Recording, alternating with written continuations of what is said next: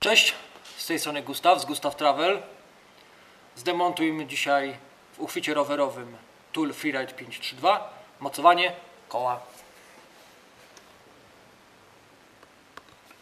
Co musimy zrobić? Musimy zdemontować taśmę. Przy tym demontażu musimy użyć troszeczkę siły. Tutaj mamy dwa ząbki, które blokują się w tym miejscu.